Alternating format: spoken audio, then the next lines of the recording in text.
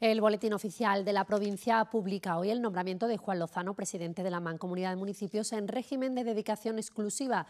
Así se acordó en sesión plenaria, celebrada eh, por la Junta de Comarca el día 20 de agosto, de conformidad a las bases de régimen local por las que se aprueba así el reglamento de organización, funcionamiento y régimen jurídico de las entidades locales.